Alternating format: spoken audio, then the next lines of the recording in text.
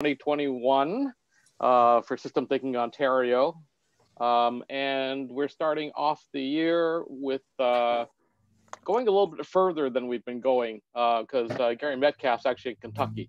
Um, we've almost been running a year now for uh, System Thinking Ontario being online. And one of the advantages we have is that we can actually reach out to people beyond uh, what we're usually doing. Uh, someday we make it back together and all be physically together again at OCAD, but uh, we'll have to see how that goes. So traditionally, we start off System Thinking Ontario going around the circle, um, and I'll try to catch up with people as I go along. But um, uh, usually, the question we ask is, uh, you know, what's your name and uh, how you came to systems. And so I'm going to pick in the middle and kind of go around. I'm going to start and ask. Oh, oh, uh, the other thing I should mention is that we are recording the session. If you uh, don't want your face to be shown, you should turn your camera off. Um, you can speak with your camera off if you want, then you'll be pretty nameless. Um, I'm behind on uh, actually uh, getting the videos done. I'm back in October. I managed to get the September ones done, but I have to work through October and November to get those ones up before I can get these ones up. Um, but uh, let's go around and uh, introduce ourselves a little bit. Uh, Hi there, uh, Lori Baugh Littlejohns. Um, my feet are planted in Invermere, British Columbia, Canada today. I think I've participated in one other Systems Thinking Ontario. I'm always interested to talk about systems. How I came to systems, uh, uh, an old social worker and family systems theory was probably the first introduction, but uh, more intensively, I completed a PhD in public health, where complexity and system science were uh, key methods and theoretical foundations. So thank you. Thanks. I have someone labeled Liana and Michael.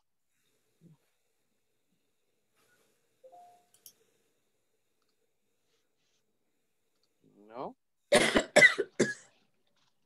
okay, we'll move on and come back. If someone wants to yell or throw it at me. Um, Don, say hi. Hi. Let's see, where are we now? Here we are. Oh, got in there somewhere. There we go.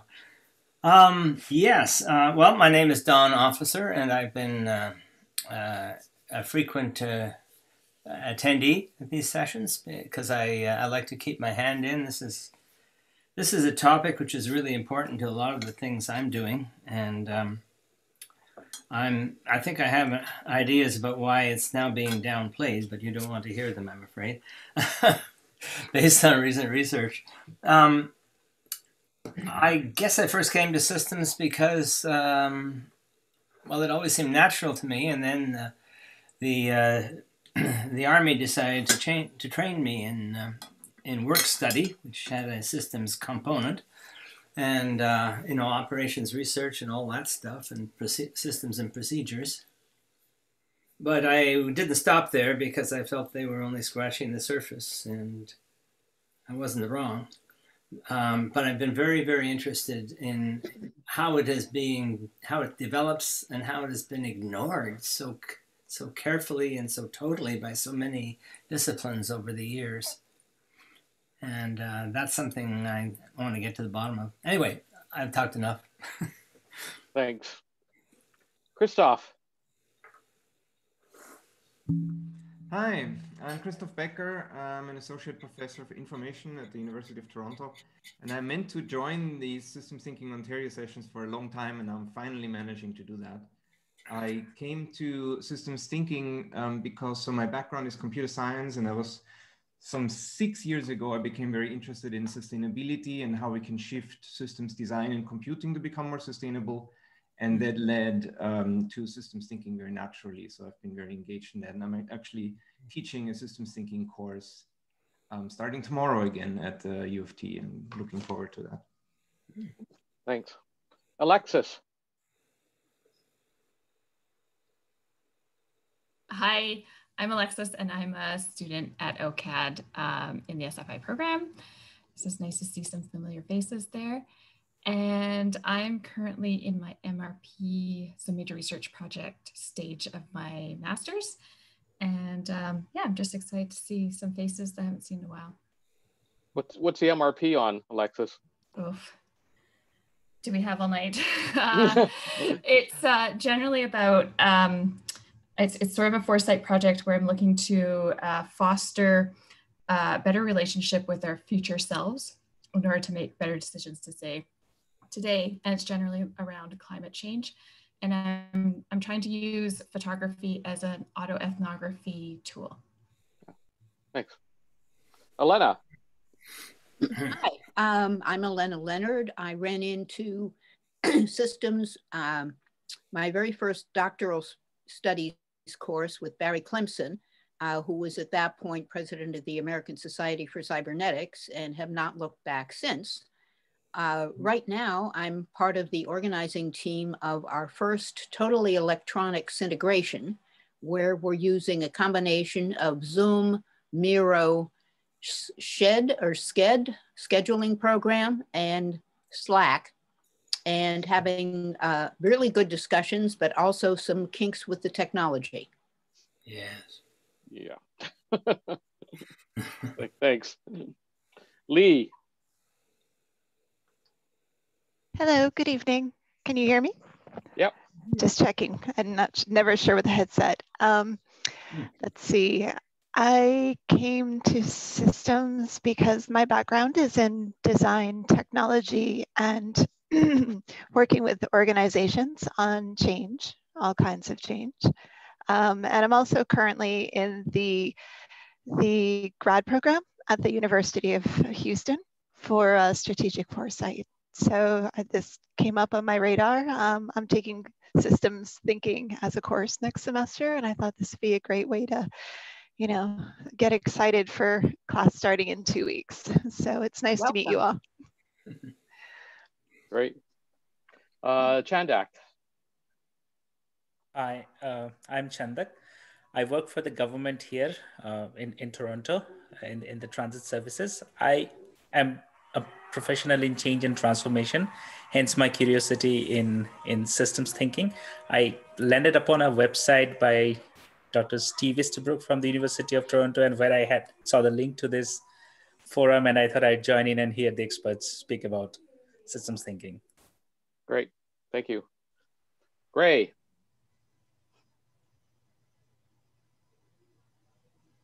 Hi, sorry. Uh, my name is Grace. Ooh, I am very fuzzy. Anyway, uh, my name is Grace. I'm also a graduate student at the OCAD University um, in the Strategic Foresight and Innovation Program, and I just presented my MRP. So well. wrapping up very shortly. Um, and the way that I came to get to know systems and systems thinking is that I was introduced to it by a friend. Um, and then I was like, oh, I have to be in a program about this. This is really interesting. And then I ended up taking courses on it. And here I am now attending sessions on systems thinking. Thanks, Grace. Nelia. Hi, uh, I'm a, a, student at uh, OCAD in the SFI program. Um, my background is in uh, international development and then law. I'm trained as a lawyer and I run my own practice, um, specializing in tech, tech uh, related law stuff. Um, it's mixed practice. And I also uh, teach a course on law and regulation in the blockchain development program at uh, George Brown. Thanks. Hmm. Lucia. Oh, hi, good evening, everyone. Uh, I'm sorry for the blurry picture. There's not too much light around me. Um, I came across your group years ago and I used to go on a regular basis to Toronto. Um, so I'm super happy to see that the group is super, super big right now. I um, still see that some faces are the same as they used to be before. Allenna is here and David and Peter. So I'm, I'm very happy to, to be back. I came across uh, system thinking uh, years ago as a part of my PhD program. Unfortunately, I, I didn't finish. However, the system thinking keeps somehow following me. So uh, I just applied for, for a job where they uh, were asking about um, system thinking and, and, and design. And I said, huh, I think I know what to do. And so um, I, I just came across David's email, who those years kept sending the emails, you know, and uh, I'm back. So uh, thank you very much for having me. Lucia, where are you these days? Right now, I'm in Costa Rica. Oh, okay. I had I had to decide either I have internet or I have lights, so I opted for internet. Thanks. there's, there's not too much light around because inside um, I just can't get the signal. So um, okay. That way. Thanks Thank for you. joining. Uh, Medina? Hello. Uh, so nice to virtually meet all of you. Uh, so I'm Medina. I'm a higher educational professional. I work at Centennial College uh, in student life, but uh, part-time I work, I study at OCAD in the SFI program. And how I came about systems is I'm taking a systems course uh, this semester, and I got carried away with my readings over the break, and now I'm super excited and um, just wanted to meet other people in the field as well. Great. Thank you. Extra points. Oh, no. we haven't even met yet. no, we haven't. Hello, Peter.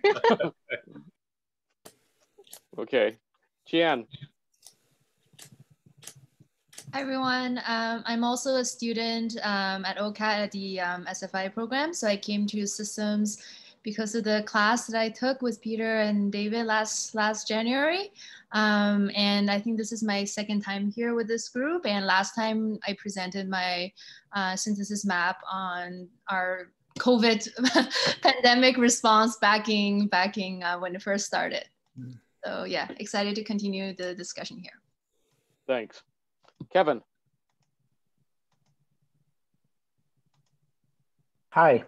Um, I was studying thermodynamics in the early 80s and came across a passage which uh, showed that the Gibbs uh, equation for statistical entropy was the exact inverse of Shannon's definition of information. So I started reading about systems stuff because of that uh, cross-disciplinary thing. And uh, I, along with Peter and others, are carrying on the work of Warf- John Warfield and Alexander Christakis and Hasan Ozbekhan of the structured modeling or structured technology-enabled structured deliberations. There's a lot of names for it, and we we meet every week on Saturdays. Uh, first Saturday of the month is is uh, about mathematical developments. The third Saturdays of the month are about applications. We've been working uh, mostly on a very uh, planning a very large scale for distributed um, deliberation to promote systems literacy, which has been a subject uh, that's been led by Gary and Peter Tuddenham, who's a member of our group for I don't know, at least seven, eight years. So um, I'm glad to be connecting with Gary. We were connecting over the year, over this uh, summer on the disruption to the regional food uh, systems due to COVID. Because I, as a hobby, my wife and I run a farmers market, and uh, so Gary was giving us the thirty thousand foot view of what was happening. Thanks, Kevin. Jasmine. Um, hi, I am a graduate student from OCAD and I'm currently studying design for health. Just um, having a course with Peter this morning and thank you for sharing the link. Uh, this is my first time joining this kind of event. I just want to um, know more about system thinking, so I'm here. Great, thank you. Zad. Hi, everyone. My name is Zad Khan. Uh, I'm a graduate student from the OCAD Strategic Foresight and Innovation Program. So I came to systems thinking through uh, Peter Jones's course, uh, Introduction to System and Systemic Design. Um, and David Ing was also a guest lecturer uh, at the time, and we connected uh, on a system changes project since, since then. So I've been coming to Systems Thinking Ontario since 2017, and I'm happy to be here tonight. Thanks. Daisy? Hi, um, I came to systems thinking uh, just, I don't know how, uh, just I think I went Brighton, just uh, synthesis mapping, and then I just uh, caught kind of a bug, it seems like, uh, so I've been coming for a few years.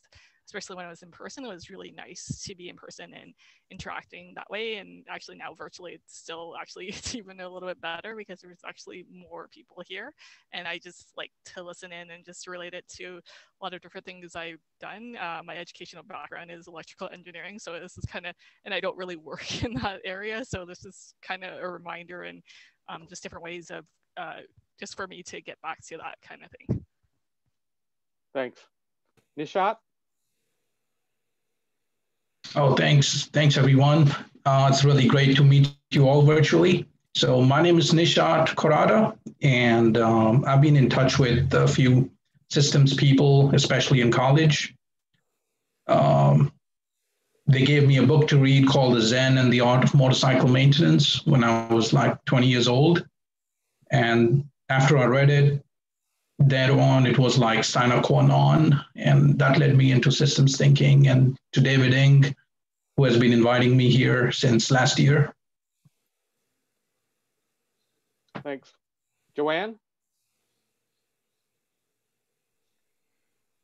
Hello, this is Joanne Dong. Um, I'm a business and enterprise architect. Uh, I came across complexity science by chance back in 2012, 2013. Uh, I was hooked uh, immediately. I was already familiar with Christopher Alexander's uh, timeless ways of building pattern language uh, from working in technology and in business. So that led me to uh, systems thinking theory. And then Ackoff and uh, Jamshid, uh, I was hooked. Um, so I resigned from my corporate job, uh, IBM and Infrastructure Ontario, to do research, uh, further research in complexity science, systems thinking, um, psychology, and architecture, uh, trying to integrate um, uh, systems thinking principles and design principles together into architecture. So this was 2014. Fast forward, um, of being an independent business architect and systems designer and architect since then. So David uh, in um, so introduced me to this group and his learning circle uh, last August. So um, so I'm very happy to be here and it's a very nice meeting you all. Thanks. Dean?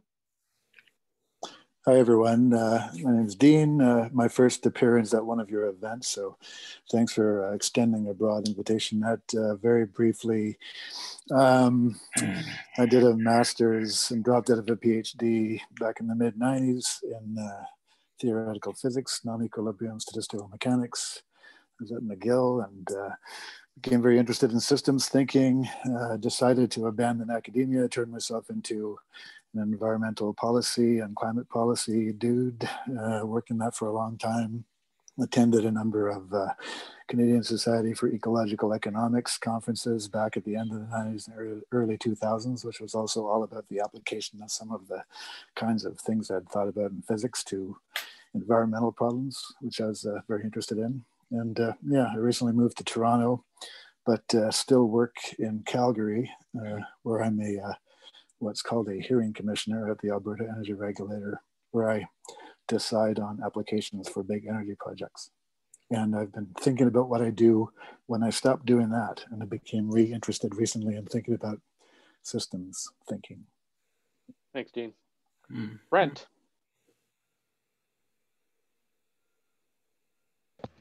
Uh, hello, everyone. Uh, this is my first time out to one of these. I'm a doctoral candidate in computer science at Western University, and I, I saw a link advertised to this by a systems group, so I thought I'd come out and see what it was all about.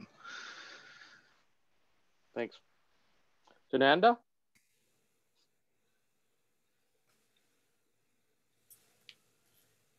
Hi. Um, I'm Jananda Lima. I I'm a former uh, student of Peter Jones, and that's why I know about this group. I participated in the last one, and that was my first one. So this is my second one, and I'm very interested in systems. So I'm here because of this. And I work with Indigenous uh, peoples as well. So I think it will be interesting for me. Thank you. Uh, Kelly, say hi. Hi, I'm Kelly Okamura. Uh, I came through uh, two systems through Peter Jones and Design with Dialogue and somehow came into systems thinking. And I work with uh, David uh, on the Systems Changes Learning Circle. Uh, my background would be largely in change. So Thanks, welcome. Kelly. Peter.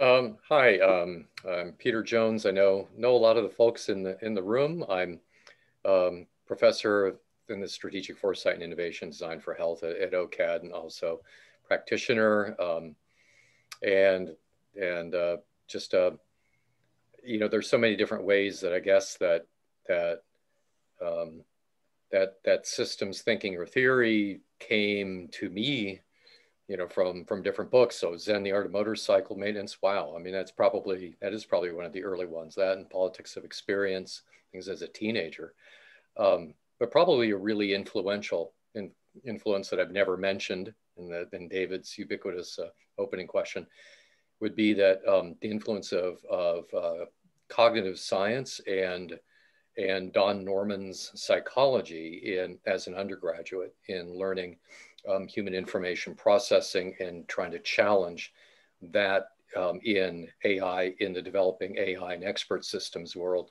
uh, as an undergraduate and taking that into my master's research. And so thinking about um, um human, um, you know, human cognitive processes in a systemic way that could be adapted effectively into into I guess good AI long before uh, machine learning is a thing. So good to be with everyone. Thanks, Peter. That brings us down to the last two who are are uh, featured. Uh, so Dan and Gary, and so I'll let Dan. Dan will be moderating the uh, the, the questions, and so Dan, why don't you introduce yourself first? Yeah, I came from uh, system thinking through, I guess, uh, way back in my business days with David, when I'm sitting in this room with some other MBA people and David, and he told me that this stuff that we were learning in the MBA program was questionable. So it's only uh, I don't know 20 years later now that I've suddenly figured figured out what he meant, and so I've been in the system changes uh, learning circle, uh, kind of doing that stuff. Uh, one thing, just so in terms of the moderation part, after um, you know, Gary has a little spiel. I'm going to just go through some housekeeping stuff. Okay. I'm from Toronto. Okay, thanks. Um, and so um, it's my pleasure to introduce Gary Metcalf. Um, one of the interesting things about setting up um, these meetings, um, so I, I, try not, Gary, I can't interview Gary because I'm known too well. And actually one of the uh, interesting issues that came along as we were doing this, because we're sending things back and forth is I was looking for a photograph of Gary, and then I ha- I realized I must be Gary's like official photographer because we've done so much systems work together. I have photographs of him in Japan, in Austria, in London. Uh, you know, like you name pretty well any conference, he's going to be. There's going to be a photo of Gary around. It's not usually labeled, but he's usually in the photos. Uh, he's a former president of the International Society for the System Sciences, and he was president of the International Federation for Systems Research, which is the systems, system of systems organizations, if you want to describe it that way. And uh, he's, uh, oh, he, it's, he's a long, one of the things I say about Gary, I actually claim I'm only a researcher. I never claim to be a teacher. Uh, Gary is actually a teacher.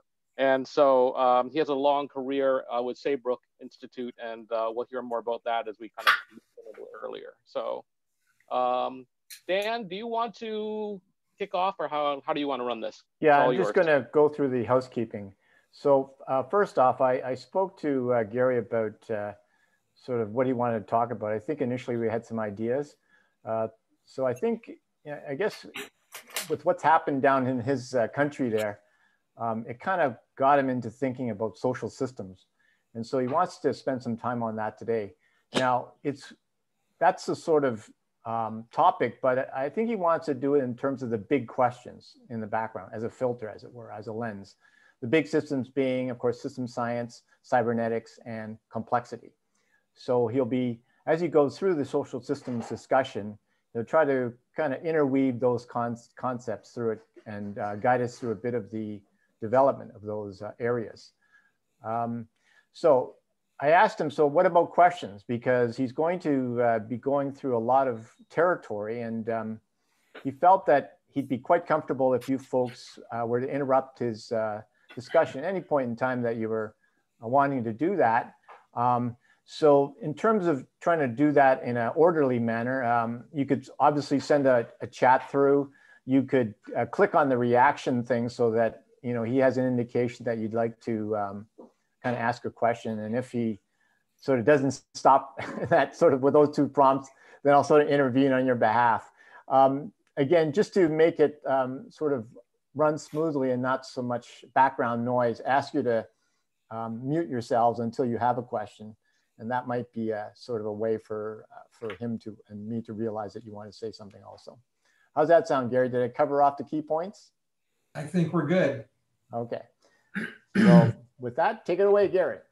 Good. Thanks, Dan.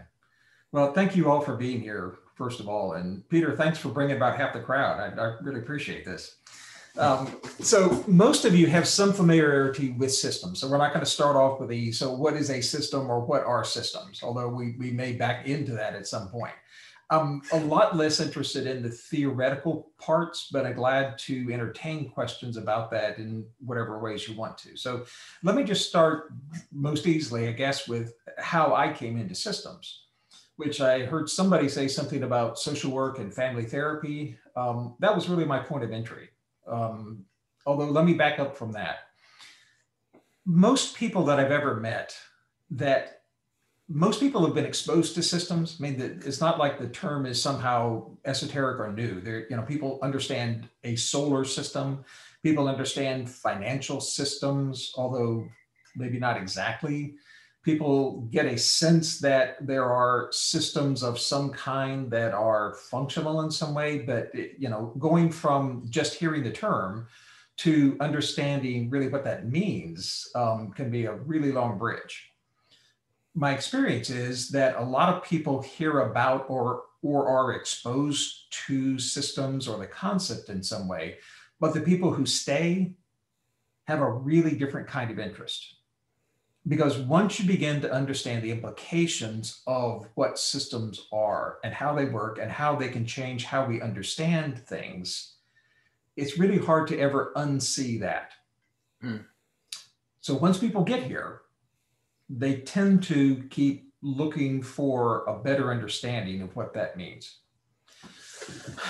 So, my earliest introduction or my earliest questions, I guess, had a lot to do with why is it that things work the way they do and they're often not the way that people assume maybe that they work.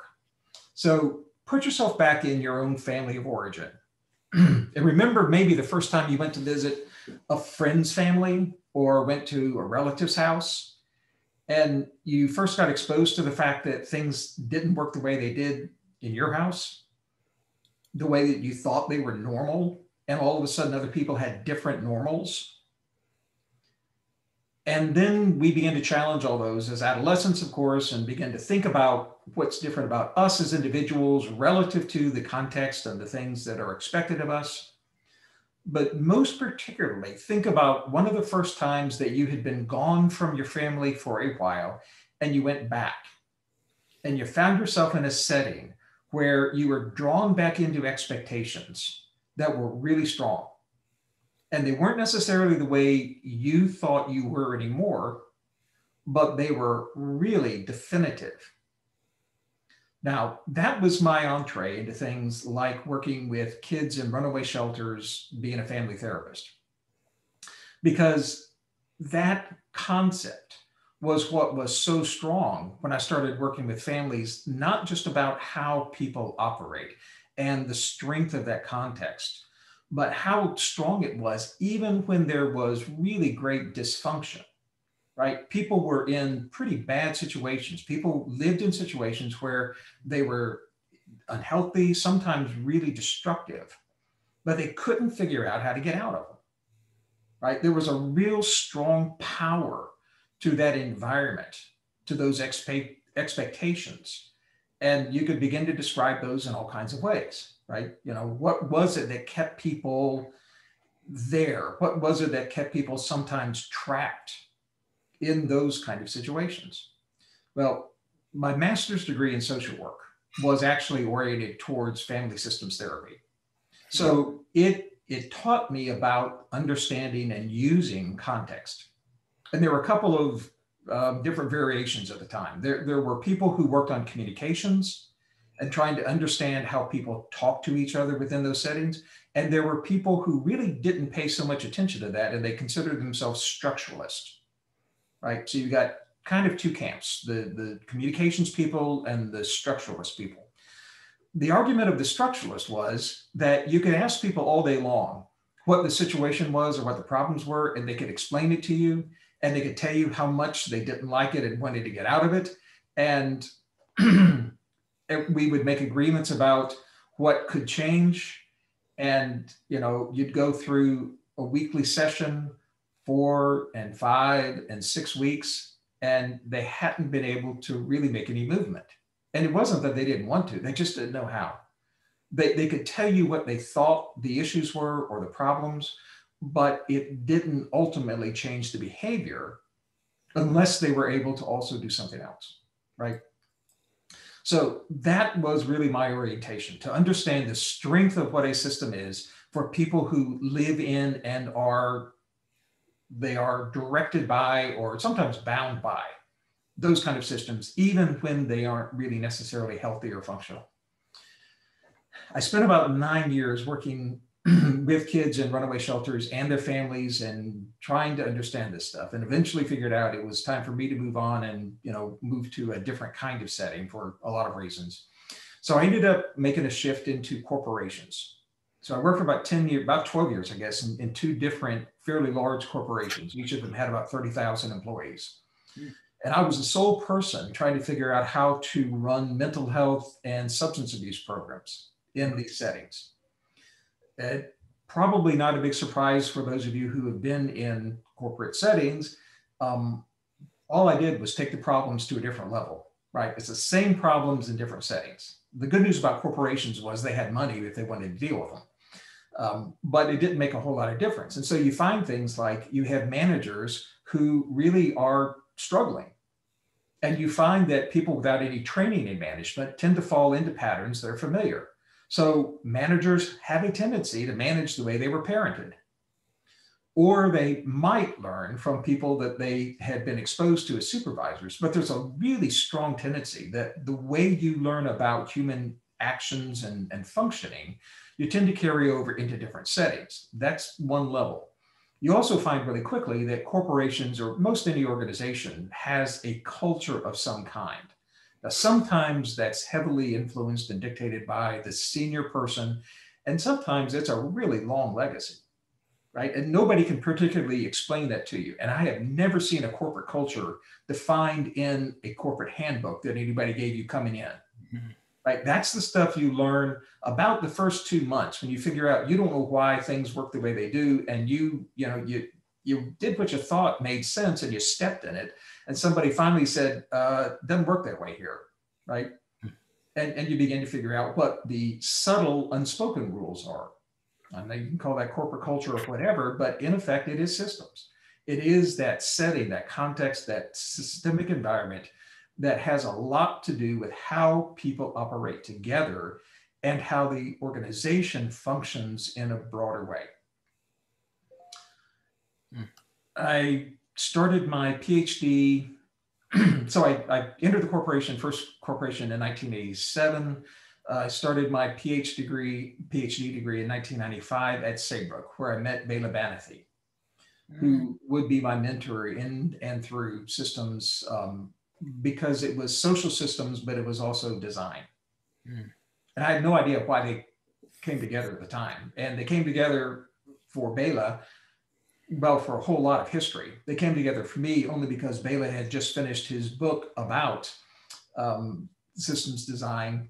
And, uh, you know, it took me a while to kind of tease apart the fact that they weren't one and the same, but that they definitely had a lot of impact on each other.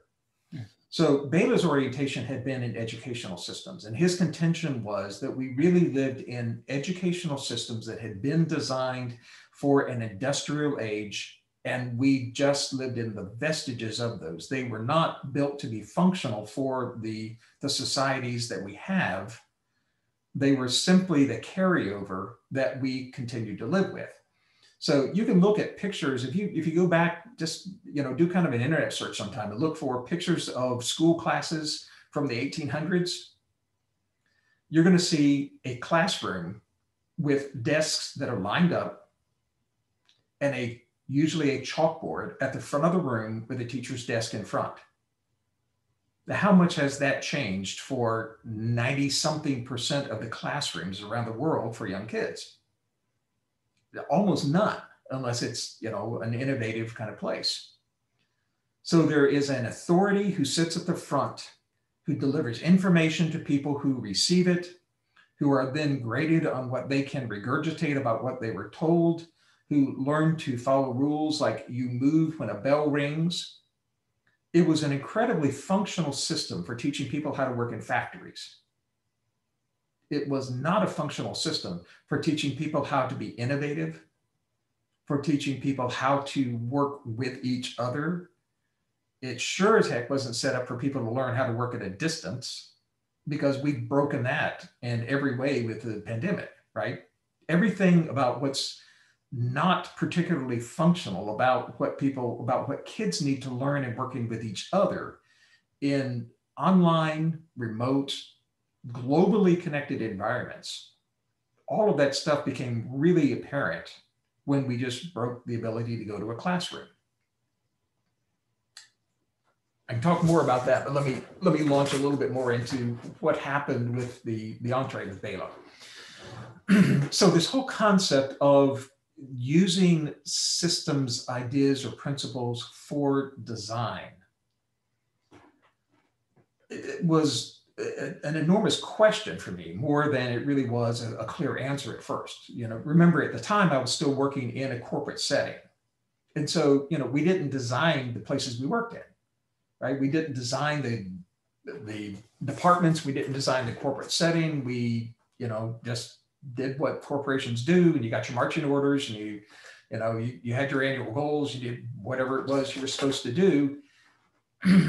But this this whole thing about corporate change was also a pretty big deal at the time right so in the 1980s you had a lot of downsizing in the 1990s there was a lot of outsourcing and you know um, different functions moving overseas uh, a lot of change going on in corporations. In fact, during the it was pretty much during the 1990s that I was with the second corporation that was in here in Ashland, Kentucky for about 10 years.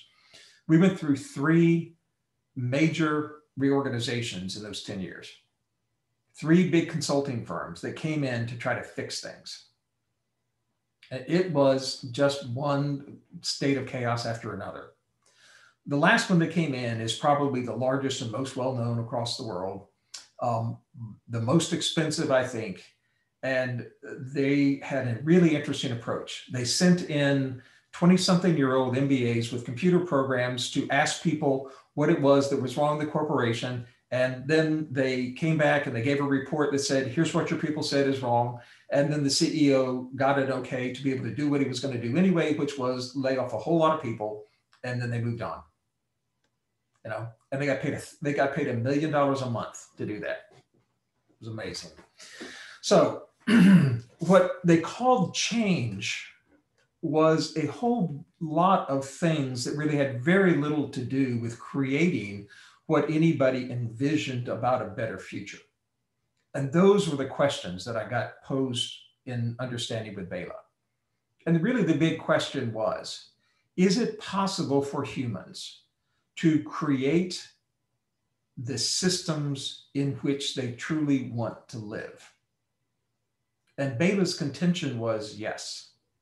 In fact, it was a lot bigger for Bela. For him, it was people have not only the right, they have the responsibility to design the systems in which they live. Now, remember, that's a two edged sword. The right and the responsibility, which meant that there was a need for people to learn how to do that in order to be a functional part of the creation of the systems And once you create a social system, it's not a static something that you plug in, right? Social systems exist because we live them, we inhabit them, we act them out every day. That's the way they exist. So we design something which we will inhabit and bring to life. And that led me to the whole next set of questions, which is okay, then what? I mean, you understand what you're, if you're designing something that is going to be made of physical materials, then you probably need to know what those materials are, right? You're going to design a bridge and you're going to build it out of steel or you're going to build it out of wood or you're going to you know build a house out of certain materials and you know what you're working with that's that's an important part of it what's a social system made of i mean if you're going to design and build and enact a social system what's it made of? What's the material? And i'll tell you there's probably a lot of answers to that and i don't know that there's an agreed answer to that. Yeah it's communication it's interactions, it's behaviors, it's it's a lot of things, it's roles maybe. But there is a pressing and an increasing need, I think, for us to visit that question again and again. When you begin to look at the social systems that we live in now and the challenges we're faced with. So I've been cautioned about um, I don't want to be too much of a political American, so I'm going to not go in. I'm not interested in really discussing the politics of the things we're facing right now. But let me just give you the example of the, where the questions are posed, because they they spread all over. Right now, the question in the U.S. is: given the things that the U.S. has been facing, the, let me just say that from my perspective, it is a big problem about the way the U.S. has been governed recently and the question has been posed have those problems come because of the one person who has occupied the White House, or is that person indicative of bigger issues that really only that, that one person could never actually cause, but that run much deeper in the society and that are going to continue to be there even once that person is gone?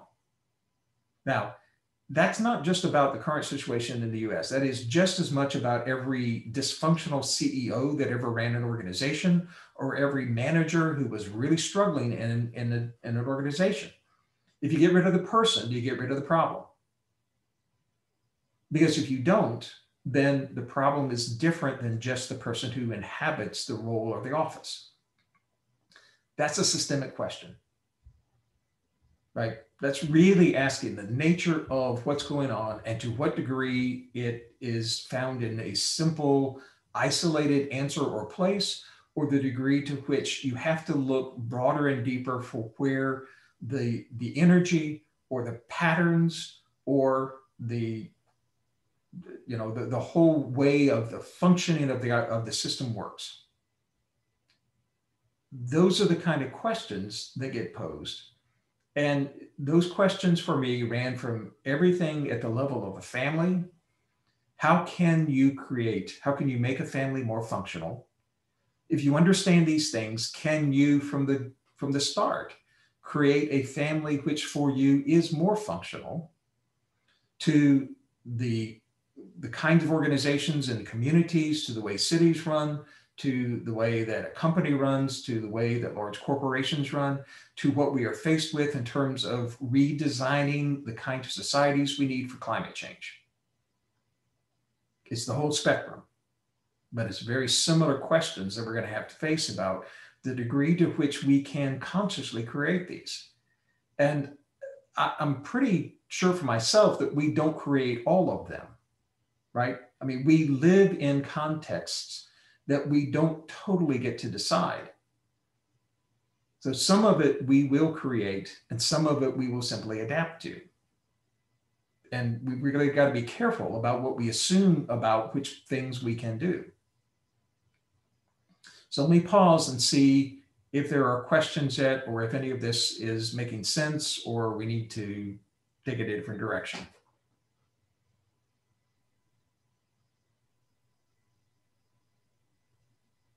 We'll take questions if anyone has them. You want to pop in?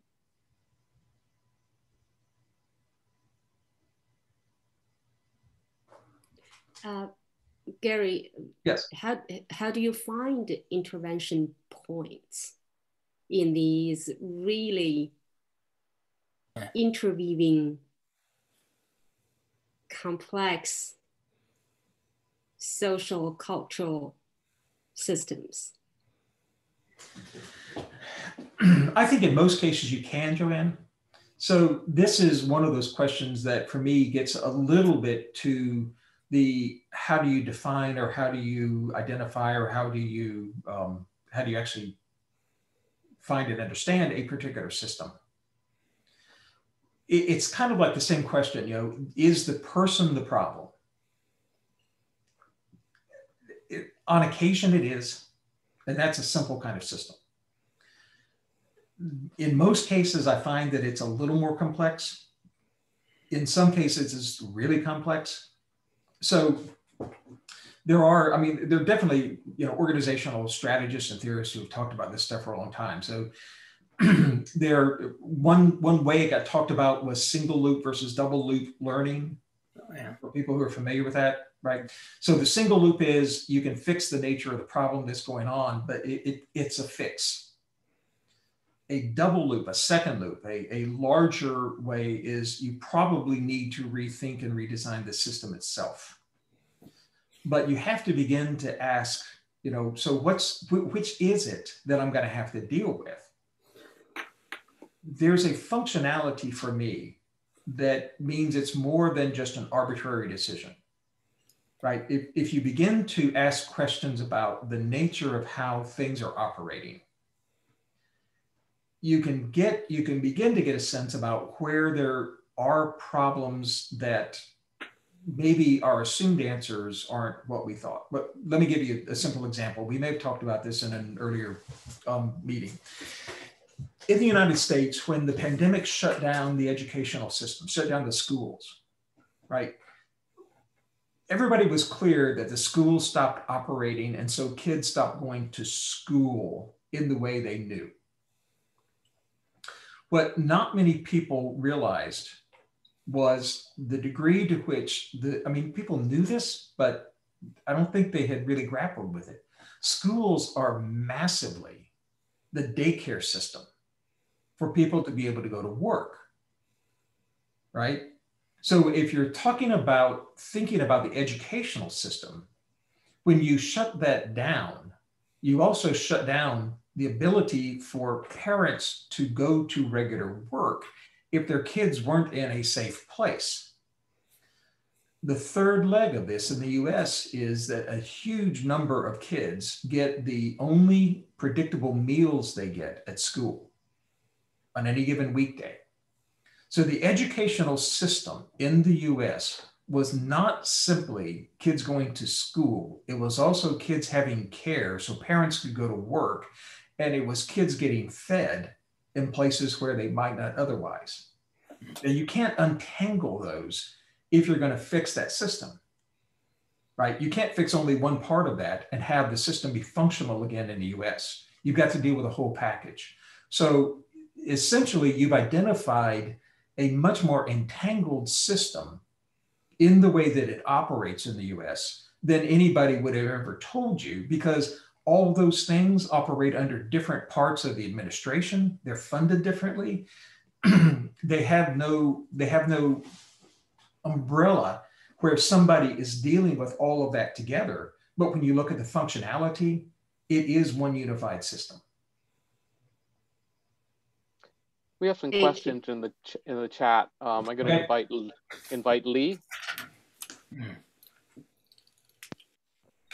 Hi there. I was just um, thinking on what you were saying and what happened with the educational system also brought to the fore, even more to the forefront, how the school was also, um, well, when it when it was everyone went on quarantine, how when it was not there, it it brought to the forefront economic disparities uh, between people. So you know, everything from access to internet in yep. public housing and the way that they've built the public housing with um, I think like cement and things like that made it very prohibitive and just the, the whole way that providing internet to people and what made it viable for a company to provide internet versus like there was just a, it just sort of it, it brought forth a lot of things. Yes. Yeah. the pandemic broke a lot of dysfunctional systems. Yep. Now the question is are we going to go back and simply recreate those dysfunctional systems to be as you know we're going to put basically put the put the wheels back on a broken wagon? Mm-hmm. or are we going to consider the opportunity to recreate an educational system that's actually functional in new ways for what we as societies and what kids as young consumers need mm-hmm. most definitely and and seeing how it's linked into so many other systems where would you start mapping that to, to gain awareness of the current state? Yes. Yep. Um, yep. I've we have, done a, well, sorry, sorry, uh, but sorry. I, if we if we could if we could cue if we could cue on the um on the chat, please. Uh, Kevin has a question. No. I, I was just asking uh, Gary or anyone if they've been uh, impressed with anyone's articulation of the current, the roots of the current situation, as Gary was alluding to, you know, a particular author or research agency like Rand Corporation or something like that.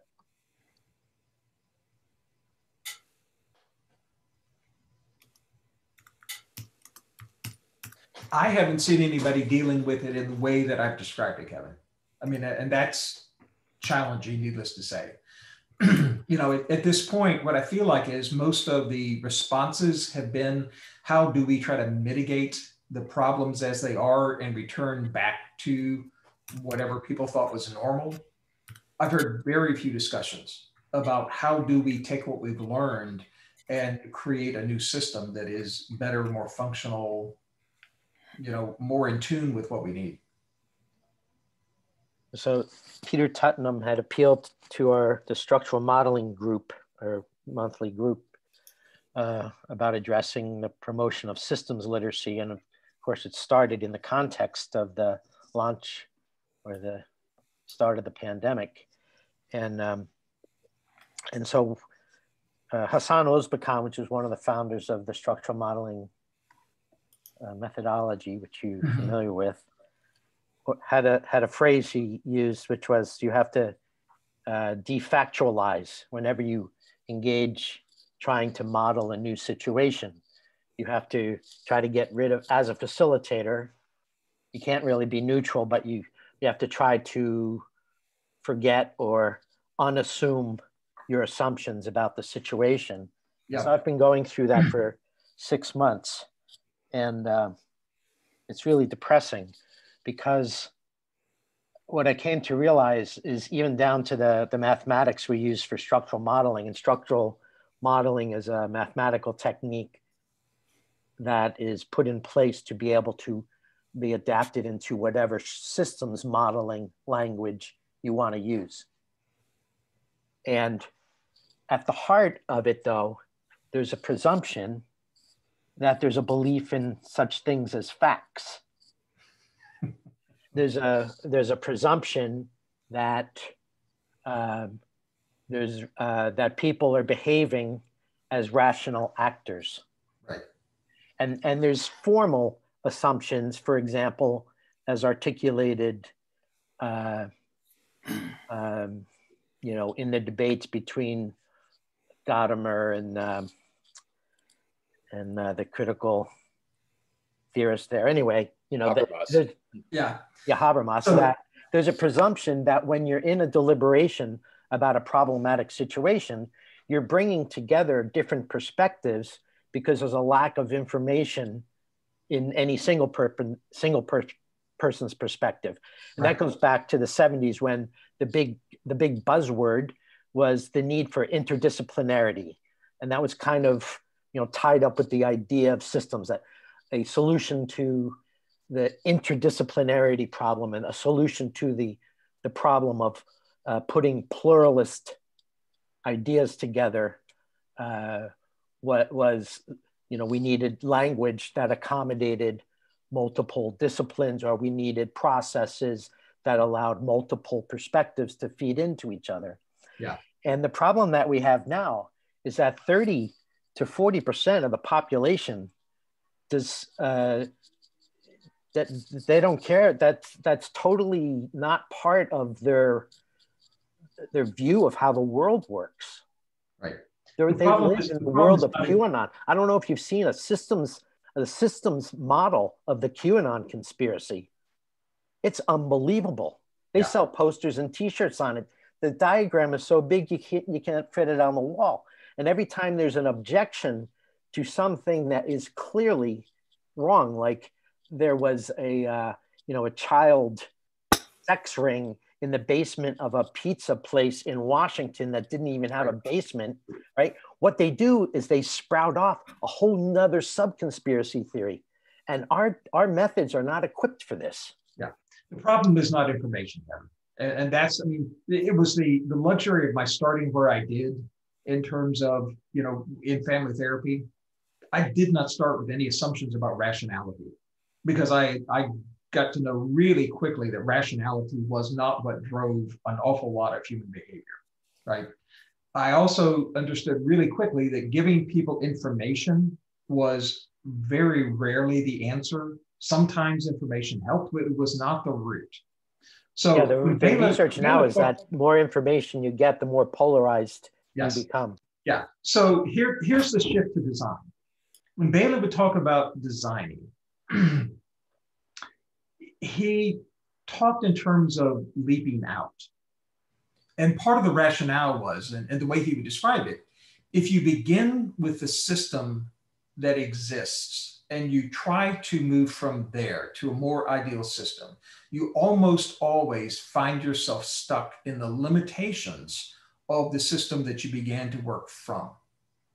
And so what he talked about was, and again, he, he referred to this sometimes as the, the leaping out, to begin to envision an idealized system of the future that actually meets something new, that creates aspirations, that begins to get at the things that people really care about in the future or for a better situation that aren't confined. Now, you can say, yeah, that gets to be pretty idealistic and unrealistic and is hard to work with. But what I, what I found also in experience was there's an awful lot to that, to not being confined and constrained, because it also gets you past the rational and the informational. When people begin to dream about the what could be's that are the things that will pull them towards what they really care about, then you begin to have a you know a, a draw, a pull, a something that people can work towards, even if we never completely get there. That's okay, but it's very likely to be better than we could redesign an existing system. And again, it gets past the diagnostic, the informational, the assumptions that we tend to get stuck with. And so to, that's where, for me, bringing that kind of design, the, the dreaming, the innovation, the, the, the desire of what could be, the emotional draw can be really powerful. Let me, uh, I have a queue of questions coming Yes. up. So we'll, we'll have Allenna, and then we will have Tim and Lucia, and then Peter. Allenna.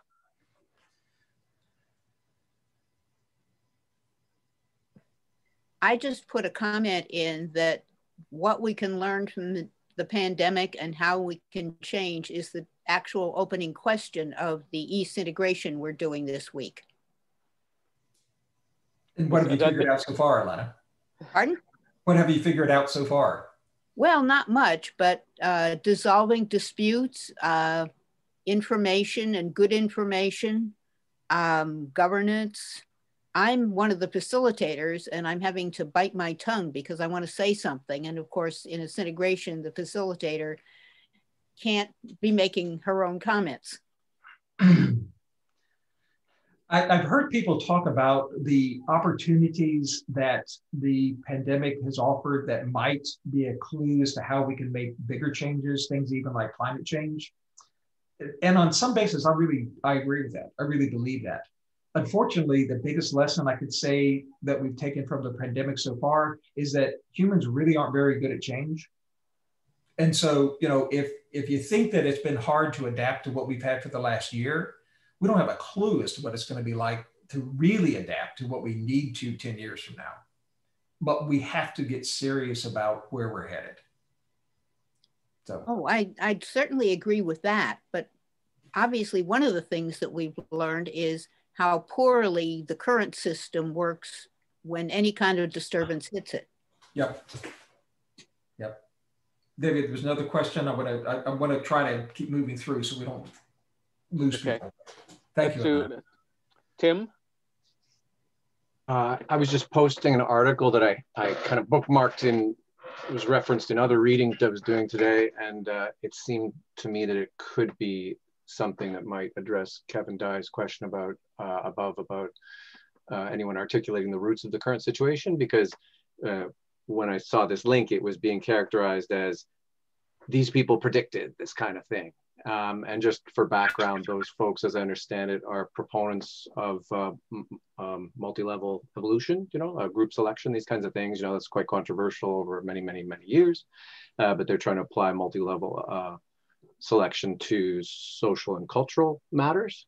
So the idea, one of their thesis is, you know, the whole question of can where does cooperation come from? How does cooperation? Why do we cooperate at all? And in groups and out groups and this kind of thing, right? So, uh, and just one of the theses is that I'm not sure if it's in that paper because I haven't read it, but it was close proximal to where that link was that I found interesting, and I think it might have been attributed to those authors that I found really interesting, and I kind of I just liked from a aesthetics theoretical aesthetic standpoint was that the diversity of rule systems is an indicator of health in, in a sociocultural sense, in a governance sense, and that uh, as opposed to a monoculture. So it seems to, you know, make some sense, but maybe there's a clue in that as well. I don't know. But anyway, that, that's all. It's just a, an article that I haven't even read. We talk about dangerous. Here's an article I haven't read it. Check it out. worth pursuing. Um, Lucia? Going back to uh, beginning of your um, of our discussion, uh, Gary, we mentioned that um, the uh, pandemic has different levels of disruption. So within the school system, we also mentioned that uh, the school system is producing an army of, of uh, people that work in uh, in factories.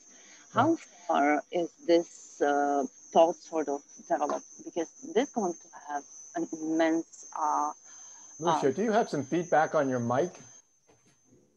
Um, no, I shouldn't. Hmm. Fine you can by me. Explain? It's fine by me. Just continue. Okay, so my question is just uh, very quick, like how, how deep disruption do you see in terms of uh, of working systems and um, in a post, let's say, post-pandemic uh, times? Like, uh, are there any any clues out there how how this is going to be resolved if, if the if the uh, school system as such is already disrupted and uh, the army is not being produced as as we speak? Yeah, I I wouldn't try to predict what's going to happen. I think it's well worth considering the some of the issues and the importance of things. So some some companies have given clues like you know we we really don't see bringing everybody back to regular offices. We're going to be able to let people continue work, working remotely. Um, you know from for a lot of our jobs. That's fine. People have gotten somewhat used to that, but I can tell you not everybody is going to be a big fan of that and it brings some additional challenges. So, you know, is that really a good idea?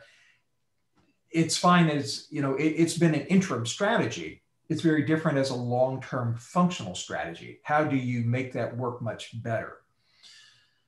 There are questions about the interface with education. I mean you know parents have gotten more intimately involved in their kids school like it or not.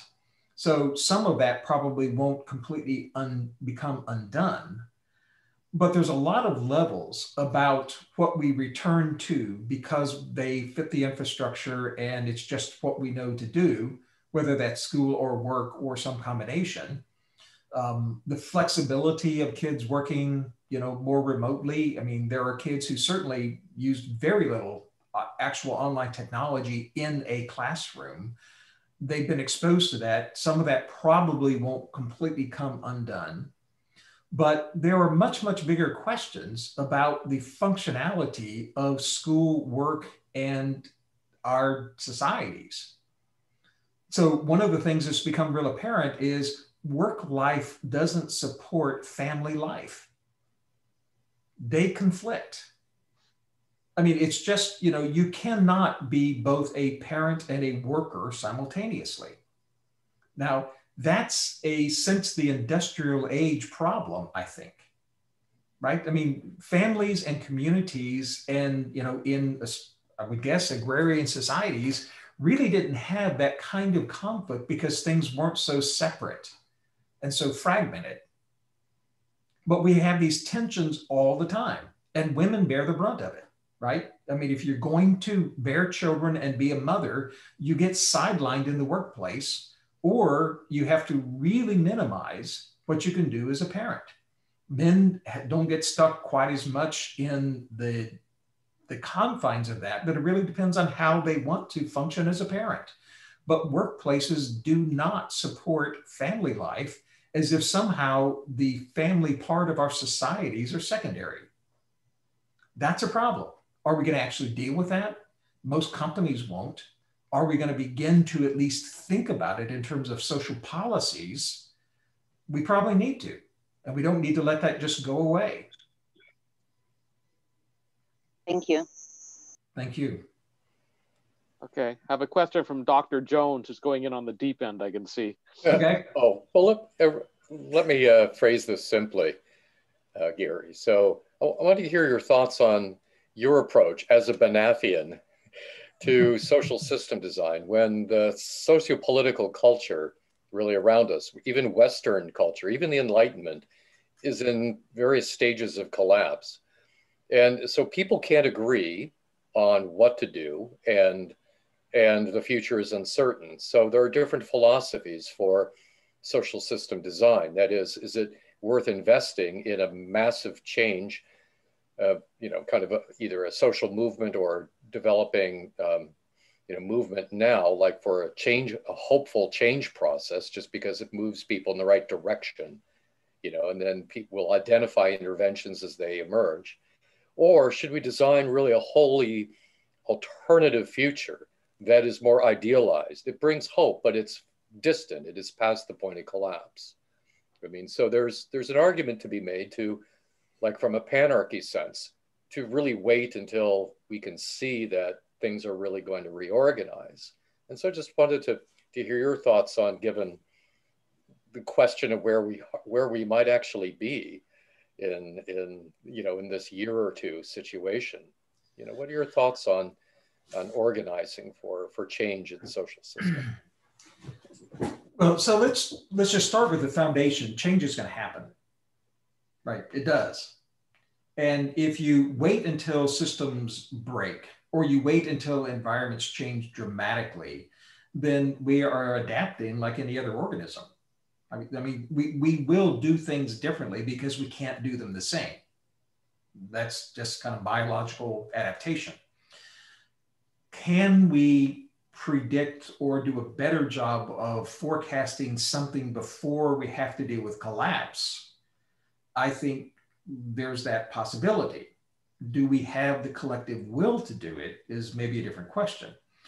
People are designing things that are happening for the future. And I mean, my sense of them right now is about 95% of them are all vested in technologies, right? Meaning computer type of technologies. That's where the money is, that's where the interest is. So, you know, yes, we are fixing it. We're fixing transportation by working towards self-driving cars. We're fixing transportation systems by trying to go to electrified cars. Yeah, you're proving okay. my now, point.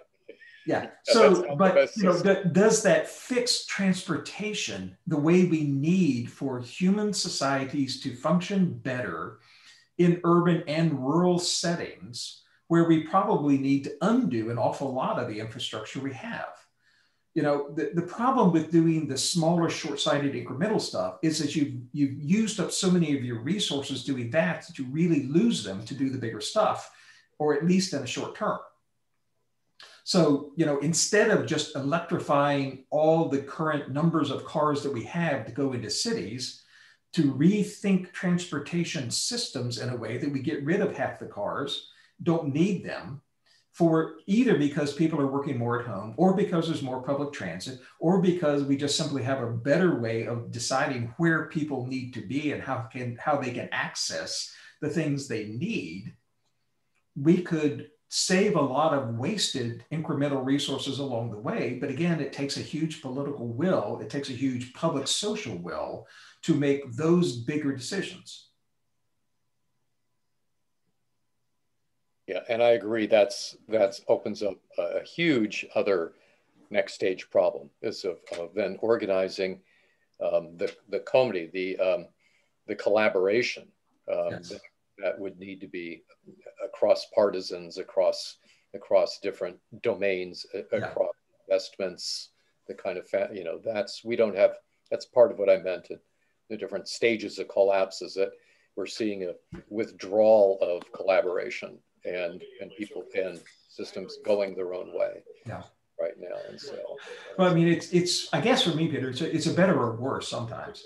The the biggest changes seem to come from the biggest breaks in systems is like if a if a system totally collapses, we are willing to really stretch and do something new and different.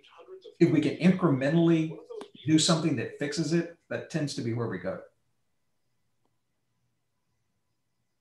Thank you. Uh, we'll take one question from Medina and then we'll switch back to uh, the agenda. Okay, thank you. Um, so I guess my question is a very simple but very complex uh, question, and I know that there's probably no answer to it, but when you're looking at things like climate change, it's a very broad, like it's a very big issue, and it's very complex, and there's so many interconnected parts to something like climate change, and in many ways, it's considered a wicked problem. Um, you know, in many ways, I think a lot about what's happening in the States. And I'm like, you know, is Trumpism a wicked problem? It's connected to so many different things, connect, connected to political systems and uh, different organizations and people and you know i feel like maps can go on and on and on for a really long time um, how do you know when to stop? So is it like a sixth sense that you kind of develop as a systems thinker? Is um, do you focus on people who have positional power organizations that have positional power?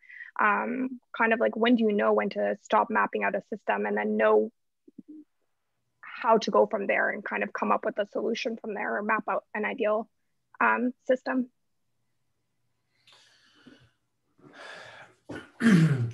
well, you're right. It, it is a very complex question. So some of that, I think, is um, some of that has to do with the the magnitude of what it is that you believe you need to affect, and this is a collective you, right? it's what what can the people who are involved actually deal with in a way that they feel like they can create some kind of a change, a new system, a whatever. But it, it, it's always going to be a combination of the people who are involved relative to their capabilities and resources, relative to the magnitude of the change you, you I mean, you, you really cannot go beyond the capacities of the people who are involved in the change to create something that is so different, it's far beyond their scope to even envision. Right now, you you might say, for instance, turn over the a change that needs to be made to an expert group that is so versed in whatever's going on that they really can both envision and begin to design and maybe enact something that is far beyond what the general populace could envision. But you know, you've still got to somehow come back and connect people's ability to live out that change. So let's just go back to the transportation system. You could do what would be a hundred year change for transportation systems in you know an envisioned new city but if it was so unfamiliar that people had no idea what to do with it they simply wouldn't and they'd simply try to start gravitating back i mean you, you'll find them some you know kind of shoehorning whatever they normally do into something that's familiar enough they can they can behave and then get their hands around it and know how to act so it it is always a combination, I think, of the people involved and the possibilities and the capacities they have to act and change. I don't mean to, that to be a waffling answer, but that's um, that that's a practical answer for me. oh for sure, and I really appreciate that. It's something that's always like been on my mind, um, especially more recently than ever, because um, I feel like you can often find yourself getting lost in thinking of all of the ways in which a particular problem or a system is affected by so many other things. It's so interlocking. Um, so I very much appreciate that. Thank you. Thanks. Okay, so I dropped a link in um, in the chat uh, on the Handbook of System Sciences, and uh, Gary's been editor of that. Um, but in particular, um, he's going to talk a little bit about the chapter that's actually not published there yet. Um, and uh, and the work he's been doing with Stuart Kauffman from the Santa Fe Institute. Okay, so um, this this takes us really back to kind of the origin of some of the big questions, and, and I'm, I'm glad, by the way, the, the Handbook of System Sciences is being published as a reference book by Springer. That means that if you've got access to a really big library, when it gets published, you, you'll have the whole thing. There's a 50, 49 chapters, I think, in total. Um, and actually, Peter helped um, edit a section of it. So you have four chapters in it, I think, Peter, you and your collaborators. Um, anyway, it the introductory chapter that I that twisted Stuart Kauffman's arm into co-authoring with me tries to go back and look at the origin of some of the really big questions, all the way back to you know ancient Greeks and not just their theories of what they were proposing. I mean, that that is of interest is how how much of a of an influence they had on the development of Western science for the last 2,500 years. I'm less interested in those connections, as fascinating as they are, about you know the things they proposed way, way beyond what they could have ever envisioned in terms of technology and instruments and all the the things they founded. You know, the, the, the proposal that there might be atoms back in ancient Greece before they could even think about how to investigate. It's the nature of their questions that are the most enduring because we continue to ask the same kind of questions in new ways at different levels in you know using different technology. Part of the learning for me is to look at the nature of those questions and then think about what we think we know now and project 500 or a 1,000 or 2,500 years from now. And don't assume that we have all the answers as complete as we think they are now. You know, we continue to make incremental changes and learn and make sometimes huge leaps only to find that we're asking new, bigger, different questions. So the for people who are familiar with these these different fields, these different realms, I guess, of system science that's often posed as separate from cybernetics, that is for a lot of people definitely separate from complexity science. Not only were a lot of the same questions involved, there were a whole lot of people that overlapped with each other that were involved in doing all kinds of research that fed into one arena or another, and they somehow got lumped in there. But it didn't mean that the ideas didn't cross over, and it didn't mean that they weren't talking to each other in all kinds of venues all the time. And so for me, it really was just one kind of continuation, even though the sometimes the theories look different. The, the ideas got presented in different venues that weren't necessarily understood or affiliated with each other. They really are just one continuation of a lot of questions getting asked by different people and answered in various kinds of ways um, that created more of one long stream than they did whole separate camps or pools. So as a formality, the, the cybernetics group coming out of the Macy conferences really formalized first. So let's back up to where some of this came from. Early 20th century, 19, 1905 was, um, was Einstein's first theory of special relativity. 10 years later, he came out with general relativity. Okay, so you've got the, these very early huge advancements in science per se, really in physics. Led us into World War One, which led us to the Great Depression, which led us into World War Two. World War II broke a lot of things. So you can, in, in terms of all these different people and their questions and the science and the movements, World War II is probably as good a marker as any of the rest of them, both in and coming out of World War II. World War II was the first really industrial war. You know, you had World War One was still a lot of horses and some small tanks and a whole lot of people in trenches. World War II was major ships and air forces and all kinds of technical equipment that not only had to be supported and managed, it was also huge numbers of people that were managed. So in World War II, you think you find things like operations research to figure out how to move huge numbers of people and also all the supplies they needed. You have the advent of things like systems engineering. You have a lot of the things that we think of as being, you know, later applications that came out, came really into practice during that time. Coming out of World War II, you have a lot of the vestiges of the people who were impacted by that beginning now to think so what do we do how do we take these things and go further with them um, I, I, was interested actually and I, I, looked up the other day just out of, out of curiosity kind of what stafford's um, history was, you know, kind of his, his trajectory during World War II. He was born the same year as my father, and they both went into the war about the same time.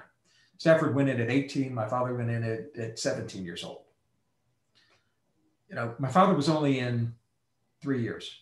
He was on two different aircraft carriers for the US military, for the US Navy you know, Stafford was in and, and I guess went to India and, and had a very different kind of experience, but it very much colored his psychology of working with soldiers in the British military, very much colored what he saw as being really important issues that began then the foundations for viable systems and the other work that he did.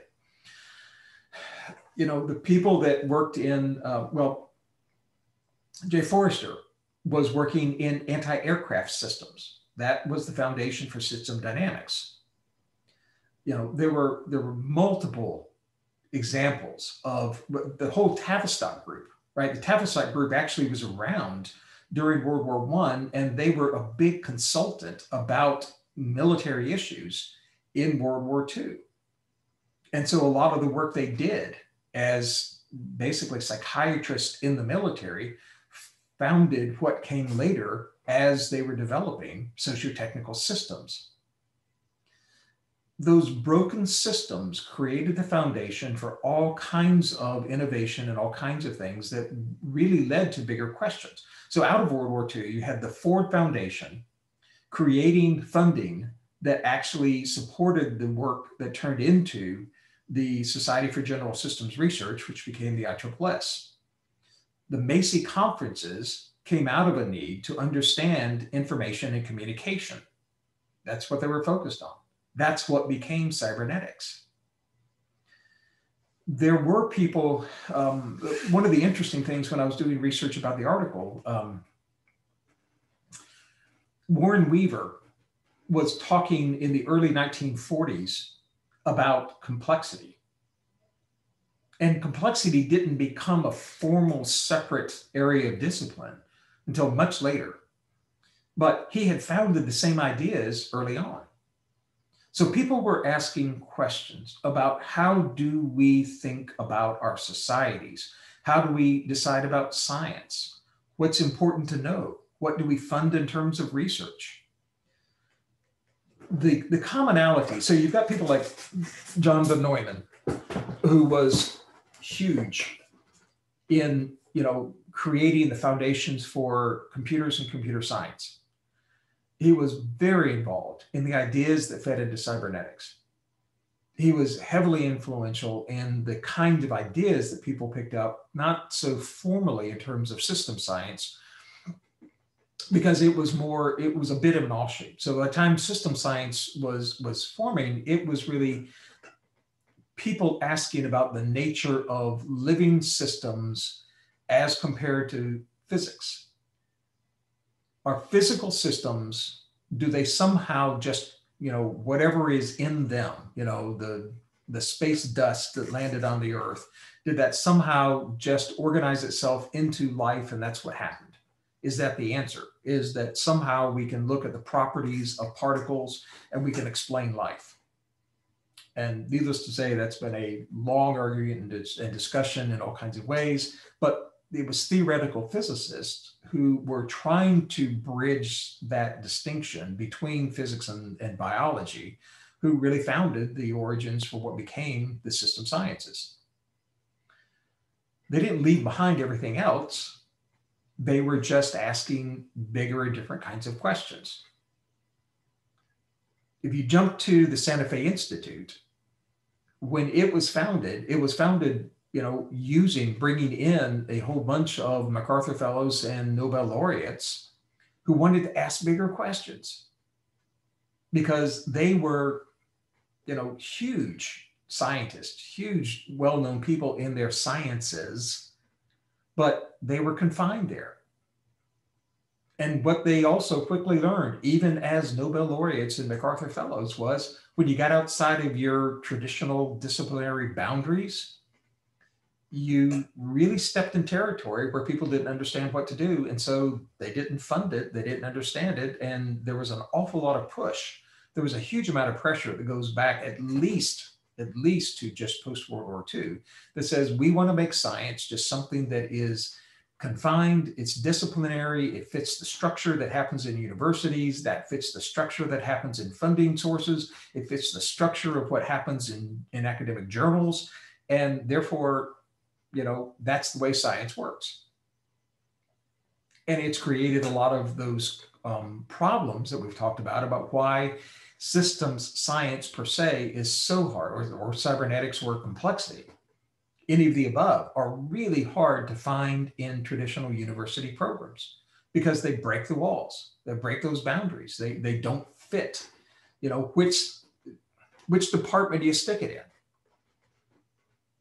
because it's going to get funded because it feeds into research because it goes to certain journals you know it, those those barriers have really created an awful lot of the problems for asking the questions that get to some of the things we're talking about tonight how do you begin to address really big problems when they aren't just simple disciplinary problems? So the, the interesting contrast, what I raised in, in writing the, uh, this particular chapter with Stu was looking at really two people to try to begin to make sense of this. So one was Stu and his own background, and the other is as contrasted with Robert Rosen. Now they actually knew each other, and they both were in their own way theoretical physicists. Stu also though was a medical doctor, and he he transversed those different disciplines. So he has talked about all kinds of really theoretical things and bringing in spirituality and you know approaching all kinds of things that are way way beyond biology, medicine, or even physics in traditional senses. But he still works in those camps, and his work is cited in really traditional work and journals. And he also knew that every time he came up with something which sounded really far afield, you know, he could propose certain things, but he also had to go back to so what's testable, what is legitimate in terms of science in order not to get lost and not to lose credibility for it. The challenge that Robert Rosen faced as a theoretical biologist was that he really felt that the purity of the models in mathematics were the most important things and that there therefore would not be a need to go back to you know a regular wet biology lab to have to prove those things. That wasn't where the ideas got tested the most. And he ran into a tremendous amount of pushback because it was hard to get accepted in biology as a whole when you only worked in pure mathematical theories and so this this combination this dance between the theories and the application the the willingness to have the credibility in traditional science while also really exploring the bigger ideas that we have to have beyond those disciplines that tension that ability to go back and forth between i think is really critical for how we move forward and how we begin to advance the things that we're going to have to face. So enough of that. Other questions, David, that came up, or or Dan, or anybody else, um, you know, just from listening to this part.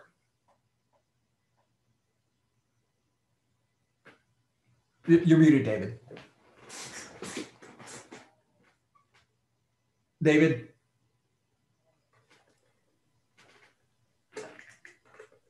The perils of having two no, monitors. Sorry. It's okay. Uh, yeah, no, I was saying I was saying that uh, you made a right turn there, and so uh, it's going to take a while for the questions to catch up. I think. um, so, so I, I found it very interesting uh, since I you, you, had the benefit of uh, sending me the chapter in advance. Um, uh, reading the article um, in the sense that Stuart Kauffman was a co-author yeah. Um, and it's interesting that he's a scientist, but then the question is, how does he write a scientific article in which he's involved? And and I found that a really interesting uh, background sort of thing because it's like, okay, the, I, I, we, we have to have this problem with Wikipedia. Uh, people have ever ed- edited on Wikipedia. You're not allowed to edit your own Wikipedia pages. Yeah. So, so, so I'll be upfront that you know I edit Gary Metcalf's Wikipedia page because I know him well enough that I think he probably thinks I'm okay. Besides, if you didn't, nobody would. So thank right. but uh, but but in writing that chapter with uh, with Stuart, um, how, how was he feeling about writing it and and putting it together and relating those stories in his perspective? Well, there there probably are multiple parts to the question, David. One of those is how you write together. You know, so in this case, um, Stu and I have been talking, we talk mostly once a week and have been for at least four years.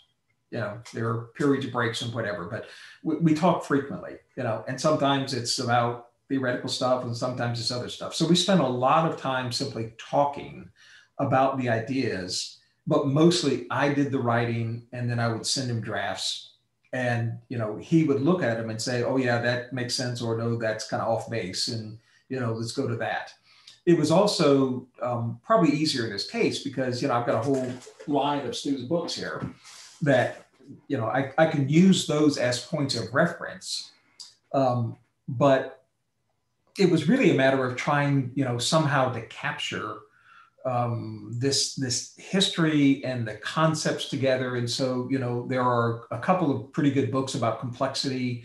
Um, particularly about the Santa Fe Institute or about the ideas more generally there are the books that Stu had written already, and you know a lot of the early the early origin stuff um, came from a guy that that actually was a Saybrook grad some years before I was, Richard Tarnas, um, who did a lot of the the history of Western thinking and you know coming out of the Greeks, and so that was just foundational material for both of us that you know we were actually reading and working on together.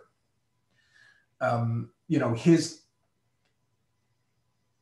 to say that he had any particular objectivity about those things it was really more you know i wanted the credibility of him working with me to make sure i had the the idea straight And so that was probably more of the process. Thanks. Um, Dean had a question outstanding from the uh, previous round. Okay. If he shifted, Dean? Thanks, David. Uh, Gary, uh, sort of a two-part question for you. It might have it might have flowed nicely from the last question you had uh, from uh, I think Medina, but I'll ask it now anyway. Uh, so, given your um, you know being immersed in the world of how systems thinkers and modelers are trying to understand really hard problems, and I'm specifically interested in climate change, something I've worked on a lot in my career. Um, so to, you know, I guess the first part is, are you a believer in design for solving really hard problems like climate change versus do you think that we have no option but to stumble our way forward blindly and deal with events as they happen and hit us in the face? Um, and, you know, the, the, the second part of that being, if you do think we can design to solve problems like climate change, and I don't know if that's an area that you have looked a lot at the, the climate change issue. But when I think about things that you know um, are being floated as policy solutions, things like economic incentives and carbon pricing, things like you know in Canada we have a clean fuel standard that's coming, and various sorts of regulatory approaches that can be brought in to shift uh, people's behavior on reducing GHGs. Do you think that those kinds of solutions that are being floated align well with how a systems thinker would would approach the problem, or do you think that they are missing the boat? Curious your views on that. Well, so let me say that for the past been a little over a year, probably 14 months, I've gotten a lot more seriously involved in climate change issues. So I was at a meeting in, in Stockholm a year ago in December um, about climate change that really kind of kicked off some stuff. Now, this was this was a smaller meeting of people that were actually, you know, Stu Kauffman and a number of other people were there wanting to bring a, a complexity perspective to climate change. Okay, and that those discussions continued on since then in various ways, and so that that work is kind of continuing to try to bring a different and a larger perspective to climate change issues. Can we design? Um, I, for me, the, the question that follows that is how much. You know, can we redesign the biosphere? I don't think so is do it's critical that we understand some of the truly foundational function of the biosphere to know how to design. One of the questions is the degree to which we try to identify what to focus on for different kind of efforts. So let's let's say that, for instance, there's there's a huge part of this that has to do with energy sources, right? So one one problem is we've got to quit using fossil fuels. Well, you still have to have energy. You've got choices embedded in that. One is we use a lot less energy, and therefore the sources we need are different. Another is we begin to envision sources that are so abundant that you know we really don't have to go to some kind of a, a limited way. We don't have to constrain ourselves to you know kind of a, a bare subsistence um, you know, their calculations are, they're really, um, Vaclav Smil is a guy there in Canada that does really good work on energy, right? Um, he, he's a great source for talking about kind of the, the levels of energy per capita in different societies that you know can give you everything from basic subsistence to you know much bigger um, possibilities so that you aren't just entirely constrained. What's it going to take to do that? You know, there are there are companies that are coming up with you know better things than not just good solar panels, but these huge production facilities. Heliogen is a company that's doing stuff so that you actually have solar power that can produce enough energy that you can do things like you know steel or concrete or things that are way beyond what you could do with regular solar panels are those the right kind of approach? You know, electrification of all the things that we use, all the end products, is one of the goals and challenges depending upon, again, you know, what you see as being what's necessary. Um, electrification of all of our human products is not going to solve things like, um, you know, the it was national. Well, in fact, I saw I think three different sources today. There, there's an article in Nature that's reporting like 12 different studies talking about the loss of insects. The loss of species is a huge problem. The electrification of what we use, like cars, is not going to solve the climate impact that you know is going to happen in certain places anyway. And I'm just as concerned about things like you know um, unintended or unplanned migration of people from places that get impacted by severe weather results that we don't have any good plans for. So, you know, there are so many possible outcomes of what we're looking at in terms of creating enough stability in the world that, you know, you you can't just make a change that totally undermines every economy of the world. We've got to have some kind of a transition that keeps people stable enough. That was a huge lesson from the pandemic, right? You can't just make people stop going to work. That doesn't work because one thing, they won't comply. So you've got to have something that creates enough of a bridge there can we control enough of the probable impacts to make sure we've got stable housing and food supplies for people in areas that have some probability of being impacted the most in the next decade? Maybe a different kind of question. Can we begin to deal with species impact? It's really critical if we're going to maintain a biosphere that's anything like what we're living in right now. There are people that are talking about soil mitigation that's a huge deal. It can help with the, you know, the carbon problem, carbon sequestration, although soil is also an emitter of carbon. That's another big issue. But to go back to, you know, can, can you scale up more sustainable farming practices that help on multiple levels and help also with stability of, of social systems and employment? Probably. It's a big change can we get people to that level of change to help them adapt that fast?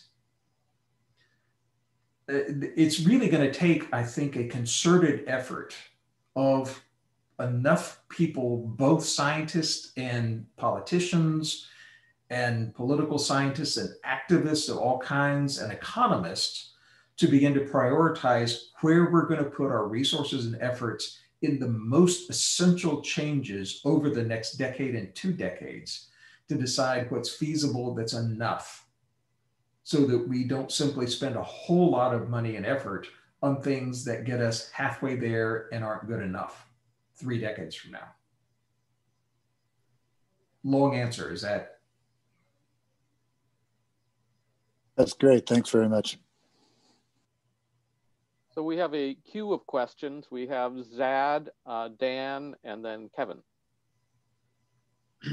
Um, in the spirit of time and questions, Dan, I like yours more than mine, so I'll pass my mine to you, Dan. But if you want to integrate what I'm hinting at, they're kind of somewhat related. So Dan, you can go ahead, and if you want to integrate my question into yours, you can. Zad, you're such a gentleman. you kind of like that. okay, so let me. Uh, I guess uh, Gary, we we've talked about um, you know that some of the questions that uh, I'm going to raise here because I read your article beforehand, of course, and the key thing I wanted to you know just to share with the audience here is that you know you've raised this um, through the history, the description of the history. There's a real break between what's research has been done in the past in system sciences, cybernetics, and complexity and in fact, it seems like they don't talk to each other. Um, the other, what Zad was talking about was really, I think, along the same lines is that, you know, we've been at this system science stuff for about, I don't know, century, I guess he's saying. How are we doing here? You know, like it's, you know, for guys like me, I'm kind of thinking we got to have something we accomplished or, or whatever. So given that this is the state of the world, what are the implications, you know, Gary? What are the what does this mean for us? Is it the end of our, our world? Like, what's going to happen here? Tell, tell me that's the light at the end of the tunnel on this thing.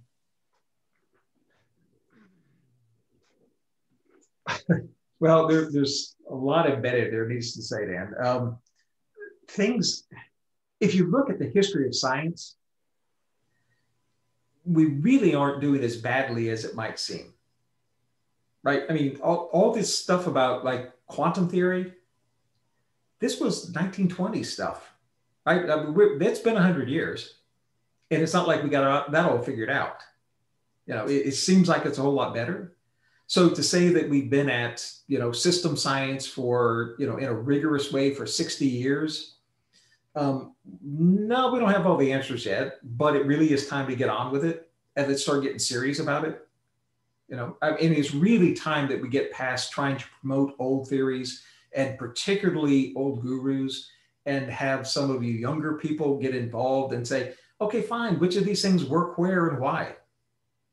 I mean, that, that was my very earliest questions coming into, you know, it took me into system science, but it really was, you know, a bigger question anyway. In family therapy, uh, that's a really good technique. Why do you think that works? With whom? You know, why am I going to try that with a particular family in a particular setting? Because I don't want to be just making guesses all the time. You know, I don't want to be flying by the seat of my pants because these people are really in trouble. So why do you think that one works? Same questions in management, consulting. Why do you think that works? I, I'm not just interested in doing your dog and pony show one more time. I want to know why it's going to work in that setting with this particular problem those are the kind of questions where you start testing theories and hypotheses and coming up with a little better agreement about what makes sense, what's likely to work, and where we need to really put our time and energy. How much hope do we have? Humans have existed a long time. Doesn't mean we always will. You know, cockroaches and crocodiles are better off. Um, when it's all said and done, maybe it's the bacteria you know they they started i mean if you want to go back to a species that started the first catastrophic change in the environment took bacteria about a billion years to go from a you know a pretty oxygen poor environment to a very oxygen rich environment. But they totally destroyed the environment relative to what it had been it just became a new environment that we're kind of glad for now. We still, bacteria still inhabit us. You know, if you look at the information about gut biomes or, you know, the, the microbiomes that um, we actually still have living on our skin, we live in a very microbiome kind of world. That's exactly what soil is about we need to take care of those things as well as really pay attention to the larger aspects. And so there's an awful lot of confluence that we have to pay attention to, I think. That's really going to be maybe the next big challenge. How do we understand the most essential systems of this biosphere and realign the changes we make with those that will continue to, well, in, in a lot of cases, recreate a healthier environment for all of us. Thank you, Gary. Are you okay with that, Zad, or did you have something you want to add to that? Um, I have, I'll come back. No, do it. Okay, do it. Well, it's, it's, it's um, uh, Gary, you mentioned uh, folks like Stuart Kauffman even bringing in some of the, some of the spiritual elements. And in your discussion, uh, I hope this is not posing a question too far for you, but you kind of gone up to that boundary of not going into the spiritual world. And I wonder when we're talking about boundaries and essential systems, what role does that play for you personally when you are analyzing or looking at the world of system sciences? Well, it's actually come up in, in recent discussions. Um, it actually came out of a, several weeks ago. We had another online meeting um, that was about the some of the climate change issues. And so spirituality has been a part of that. The way it came up was looking back at the axial age. Now, if you're not familiar with that, that was basically the, you know, 500 um, BC up or 800 BC up to about 300 BC. Essentially, it was the establishment of the world, um, the, the great religions of the world. The point is, it was an enormous shift in how people saw the world. Right? It wasn't all the same. I mean, it was the, the age of Confucius, it was the age of Buddha, it was the age of Judaism, it was the age of ancient Greece and their philosophies. But it was an enormous shift in mindsets, in belief systems of humans that helped them see the world differently. One of the questions that has come up is what's it going to take in terms of a shift in mindset for humans to be able to envision a world differently that we can now have the ideas and the capacities to redesign where we've got to be. Spirituality is a huge part of that. You know, part of it is the confines of what we currently believe from the existing religions or faiths or, you know, the idea that, you know, humans had not only a right but a responsibility to dominate and use the earth.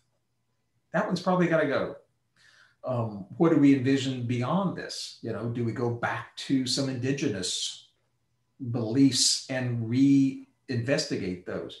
Do we somehow come up with a, a new way to envision our relationship with each other and the earth and deal with, you know, our own mortality, which is at the root of an awful lot of it. Um, you know, it, it's there you know, it's not a simple answer, but it's absolutely a part of what we've got to think through and, and begin to question. Okay. okay. So I have a lot of back channel between um, uh, between Kevin and Peter, both okay. of who have accessed you directly. Uh, so I, will I'll throw it over to Kevin and Peter, and they can wrestle, but they can only wrestle for about ten minutes. We'll wrap up after that. Okay. Uh, actually, I think it might be best to continue Dan's point. Uh, I mean, mine is just a subtle variation of it. Um, Peter Tuddenham, who was a former president of the ISSS, uh, was involved with uh, Gary several years ago in uh, an IFSR conversation on the promotion of systems literacy. And uh, he's been in, engaged in that after he did an ocean literacy project and an earth systems literacy and and so forth.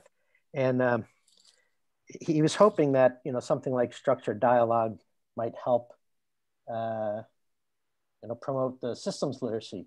And I thought he meant take the body of literature, the oeuvre or whatever, and get it out in the world and help it in an educational sense. And he actually meant just getting the different camps of the system scientists to talk to each other and like in some grand unification scheme. And I'm like, when we talk about you know literacy in english literature we don't have a grand unified theory of what english literature is. We read shakespeare we read jane austen you know we read we read different books.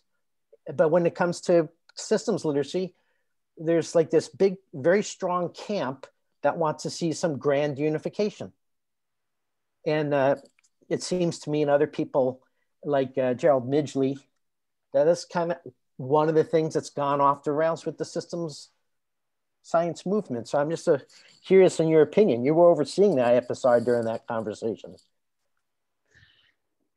Yeah. So my first of all, my read about literacy, uh, my interpretation of that, Kevin, is really not literacy. Maybe in the way other people interpret that, it's it's fundamental competencies is really having enough of an essential grasp about the, the basic properties, the basic um, approaches to, so if, if you can begin to envision seeing and dealing with systems in a way that aren't just absolute and, and fixed and concrete, but you have the ability to ask questions and reframe that's the beginning for me of that kind of competency so that we can begin to ask the bigger questions together. It's not a unification for me about pre existing theories. I think it's probably helpful to put a lot of those on the table, but you got to know that a whole lot of them are not going to survive because they aren't the best. we, we really got we, one part of this is we really need to bring that approach to science to some of the existing theories. We got to quit protecting them as if they are sacrosanct, and we got to try them by fire and just say some of them are going to work better than others, some of them better in some situations. Let's now just let some of them go and get together about beginning to use the principles and the approaches that are the most fundamental. And a lot of times they aren't that different. You know, the, the fun, the foundations aren't that different, but that's what we got to get to is what's important about this work so that it's useful enough to apply to real problems. Is a part of that an understanding of people working together? Absolutely. You know, the work that you've been involved with for, you know, since you and I met with through Aleko years and years ago, it's really important. Uh, it's been, it's changed and refined over the years, right? You know, it, it's, it happens in different ways. The fundamental goal of bringing people together and helping them understand each other in ways they wouldn't normally do that's it's still critical. How we go about it, I'm not so wedded to the tools. But be, be, but our mentors, you know, the, the mentors of our generation were driven apart for a number of reasons. You know, Hasan Ozbekhan's uh, paper, The Predicament of Mankind in 1970, that led to the Limits to Growth work of the Forrester and Meadows group, um, basically split off six of the methodologies that became the structural modeling people. And the Forrester group, because they were just trying to get the money for that project from Volkswagen Corporation, were just created systems dynamics. And then because they had to have their own thing, their own name, this whole body of methods that was created as a collective front end to systems dynamics became completely different schools. And the, the apprentices of those people weren't really encouraged to talk to each other. The journals encouraged them to specialize themselves and therefore name things that they're the same thing with different names, creating confusion in the literature. And almost every branch and methodology of system science has done this for the past 60 years. You know, well, when uh, you that's have, my opinion. Yes, and when you have the luxury of not having to um, actually test your theories, it's fine. You can get away with that for a long time. Yeah you know, when you get shoved into the Manhattan Project, you better know what you're doing because it's kind of put up or shut up. And that's where we got to get. Yeah, I, I agree. Well, if I just finish, um, Gary, I'd say we're in a place where um, the cultures have changed so much from the period of uh, the Club of Rome and the development of the of the system, the various systems movements the methodology schools, the different waves of methodology.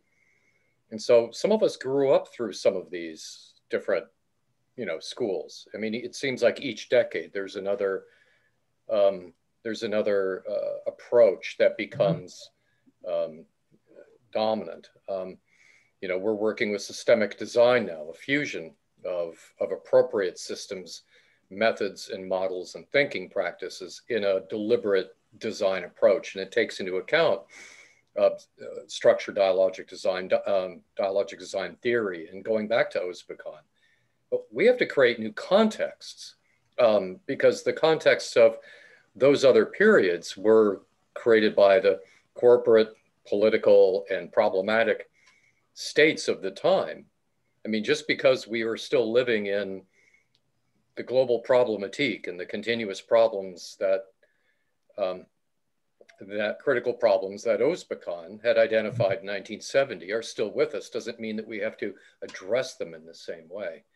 Uh, we are, are, the contexts are so different now. And I, I think one of the, the, one of the concerns I have is in the systems literacy, lower literacies, and in other approaches to training is that we're training for um, methods and approaches and literacies from a classical canon, if you will, which is good, which is not disproven, but they were developed and used in, in areas and applications that don't exist in the same way now. And that even though they're still valid, they don't speak to the context that we have now. They, I think we need to transform the methods. That's not the issue. It's that we have to create new context. Even the universities are not supporting uh, very well uh, systems literacies. I mean, they've become, they became very specialized from the 1950s and research council fundings. The interdisciplinarity is difficult and systems education comes and goes.